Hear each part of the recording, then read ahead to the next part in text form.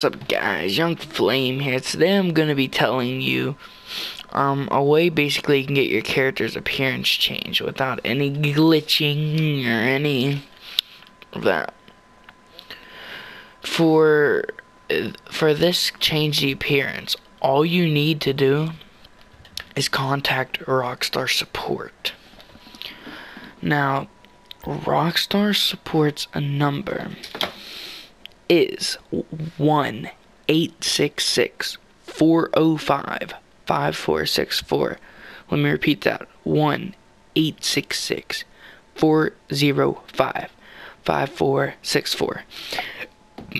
That is Rockstar Support's number. And um, if you call them and tell you and ask them to change your character's appearance, they should say they should basically put a thing through allowing you to. Um, now it's just um, basically what I would recommend saying though is saying like, oh my character's appearance, like like like it changed. Like my guy, just be like, my guy was like, oh you gotta really say if you want to get it. Just say my character was like black and now he's white or something or vice versa whatever you want.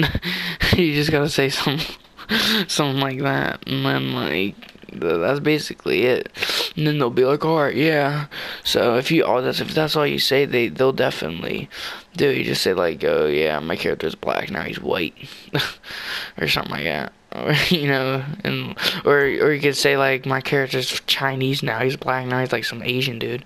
Like they'll be like, alright. So, um so I mean, whatever, you know, it is what it is, you know, saying young flame, but um this is how you get your character's appearance change if you don't like it. Obviously there's the glitch with the all that mumbo jumbo rank six and all that. I could really go through with that video, but I don't want to. I don't like it. It like deletes your outfits and stuff. It's too much. Um, and yeah. But anyways, that's really it for the video. Just be a brilliant flame. and I'm signing out. Peace.